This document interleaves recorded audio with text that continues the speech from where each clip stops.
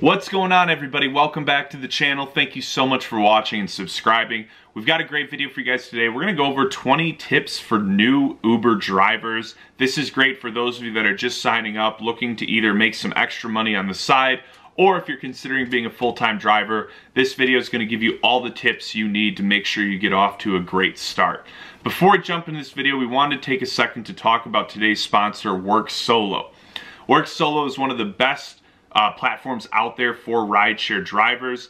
It's the only platform that gets you guaranteed pay as a driver.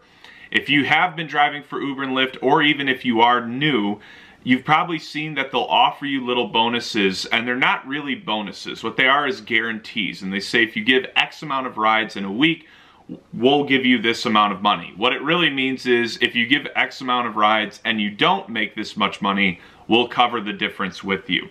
It's a good, but usually it requires a lot of rides to actually hit. But with Work Solo, you get a guarantee like that daily, and it's achievable, and it's based off community-driven data. So imagine being able to actually plan your finances out. That's what Work Solo does. Our listeners can get $10 just for signing up and linking their gig economy app. So check that out, guys. There's a link in the description below. Let's dive in. Alrighty, so my number one tip for new drivers is to utilize both apps. Drive for both Uber and Lyft. This just helps in the slow times when you can't really get rides on one or the other app. Generally, you're going to be giving way more Uber rides than Lyft, but it helps to maintain consistency if you're able to just give rides all day. The next tip I would give you is rideshare insurance is a must and it's generally cheaper than your actual car insurance. Buckle is a great option and that gets you both rideshare and normal coverage, but there's a lot of other companies that will cover you for as low as nine bucks a month. And you need to do this because your traditional car insurance won't cover you if you're in an accident. Uh, generally, they just want to wipe their hands clean and not even deal with it. And on top of it, most normal insurance carriers cost a lot more money to uh, get you rideshare coverage. So you want to go with a different company than your traditional Geico, Allstate, or whatever you use It'll be a lot cheaper and it's just good to have that sense of mind when you're out there. My next tip is using a secondary phone. I like to buy an older iPhone and use that exclusively for my rideshare driving. This just helps separate my personal life from any rideshare stuff I'm doing.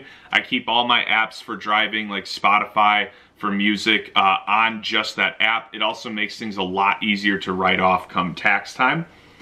After that, I would say get a spill-proof drink carrier. This to me is a must because you've got to stay hydrated all day and having that in there just ensures that you're not going to make constant messes in your car. They also sell some for back seats because even if you put up a little sign saying, hey, no food or drink allowed, people are still going to be sneaking chips and drinks in your car. I guarantee you that. So invest in a spill-proof drink carrier, get that write-off for it. Obviously consult uh, your accountant or whoever does your taxes or just look some stuff up online about how you go about that. Now, if you don't like the secondary phone option, uh, the next thing I would recommend is actually getting some type of tablet. There's a lot of tablets that have split screen capabilities. This is so crucial if you're gonna run both apps and you can have it mounted the same way you would mount any type of phone. You just have to obviously get a cheap data plan for it so that you can do your rides but having that split screen capability is a game changer. I would actually probably say I would recommend this over the secondary phone. Uh, for me, it was always a lot easier. It doesn't have to be a big tablet. A smaller one that's uh, horizontal will be perfect, and that way it's not a big clunky iPad or something in your car. Little Samsung tablet or something like that will do the trick. My next tip on kind of that same note is when you are buying your phone mount, don't buy a cheap one that goes into the vents or suctions to the window. Uh, the suction ones kind of are horrible because they leave a nasty ring. On top of that, if you drive in a warmer market like myself, then you kind of run into a problem because the heat will a lot of times make that fall off. Get a magnetic mount. It makes it easy to pull the tablet or phone right on and off of it. Next tip is a lot of people like doing Uber and Lyft and they'll do like little live streams with it. This is actually against Uber's rules. Uh, so you do not want to do this because you will quickly get banned from the app. They do not allow you to broadcast video or audio live and if you did, you would have to let every passenger know ahead of time that you were. This does not count as a dash cam, it just means you can't be streaming something to the cloud.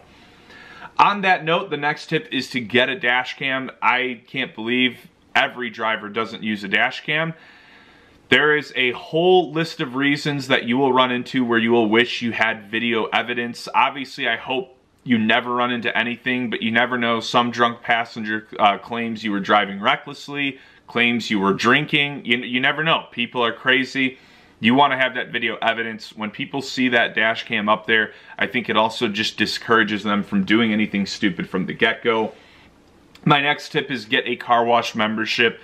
This is going to be a game changer because you always need to keep your car clean. Generally, these can be 7 to 30 bucks a month, so pretty cheap. And on top of that, it just helps so much that at the beginning or the end of your shift, you can pull up to your car wash, uh, get a quick, um, get, get the exterior cleaned real quick, and then just vacuum everything out. You don't need to go too crazy with the cleaning. You just need to have a pretty professional appearance. I always liked mine because they offered like a little cappuccino machine too. So I would always start my day by getting my coffee there, getting my car cleaned, and it was just a great way to get a shift going. My next tip is utilizing Play Octopus. Play Octopus is a company that sends you a tablet in the mail that allows you to uh, let your passengers play games and they can win prizes. You also make money when they're using this tablet, so it's a no-brainer. You can get a free tablet by using our link in the description below. My next tip is what we talked about at the beginning of the video, work solo. Again, getting that guarantee pay. They also do all your expense tracking and everything in the same app. An absolute game changer, guys. Again, the link is in the description below for uh, work solo as well.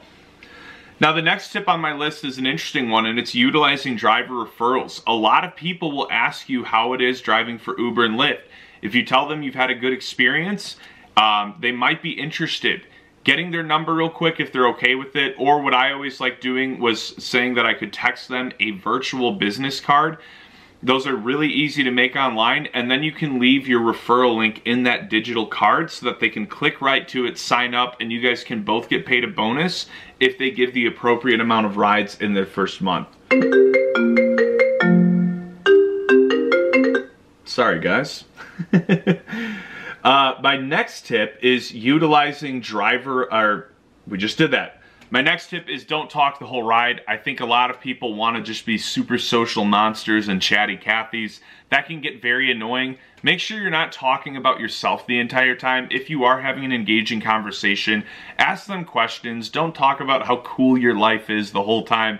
It gets annoying when people do that. Um, I also think Play Octopus is good for this because it's a natural conversation starter. Next on my list is always go above and beyond. There's some times where I won't do this, like I usually cancel grocery rides or cheap crappy rides, but in most cases I'm always going to give the best customer service I can. I'm going to help with my luggage. I'll offer to do stops, but I'll really preface to them that they need to be quick because I do this full time. God, getting blown up today. And um, that's so always going above and beyond, giving top-notch customer service is definitely the way to go. Next is track all your amenities, write off everything. Obviously consult a CPA or a true accountant about this, but you wanna be utilizing all your write-offs as an independent contractor. It will really hurt you at the end of the year if you don't.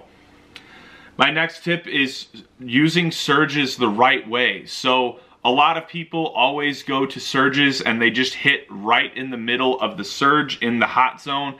Problem here is you usually get stuck in a lot of traffic and it'll take you like a lot of times an hour or two to get out of that concert pickup or whatever it is. If you just get a lot of quicker surges on the outskirts of it, you'll make more money. So cancel those rides that are right in the middle and take the ones that you can go in and out really quickly. If you have the appropriate Uber rewards package, it's also gonna show you the distance of that ride. So if you can do a lot of five to 10 minute rides before that surge dies, you'll make a lot more money.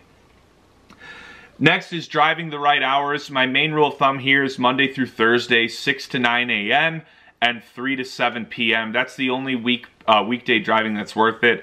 Friday and Saturday, I like to start at 3 p.m. and go till about 3 a.m. So I utilize all the bar rush. Those are also just busier days in general.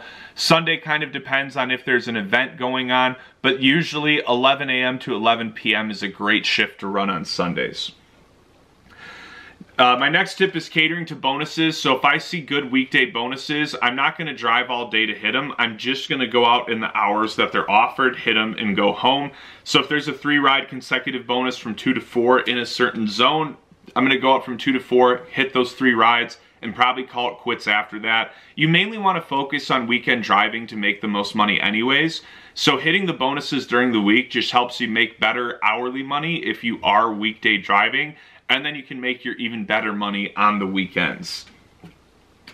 Next tip is gas memberships and utilizing them the right way. Once you give the appropriate amount of rides, you'll unlock a lot of great rewards from Uber for gas. If you can pair those with, with an app like Get Upside as well as a local gas station membership, I a lot of times can get 25 cents off per gallon by utilizing all the bonuses at one time. Some of them will just be cash back technically, but that does add up in the scope of driving throughout a whole year, how much money you're saving on gas, which is the most important uh, cost to be lowering as a driver.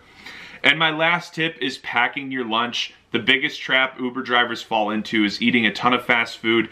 And the main thing is it's not that fast and it actually ends up being a lot more expensive than if you pack your lunches. Just get a small little cooler, put an ice pack in it, pack a couple of sandwiches, piece of fruit, and some chips. Uh, bring some tea or just a somewhat healthier drink for better energy. You'll be healthier and most importantly guys, you'll save more money. So that's my 20 tips for new drivers. I hope you enjoyed this video. Please like, share, comment, subscribe. Check out Work Solo and Play Octopus linked in the description below. You'll get $10 just by using our link and linking your gig economy app. And for uh, Play Octopus, you'll get a free tablet by using our link as well. So thank you guys again. Stay safe out there more than anything, and stay tuned for more updates.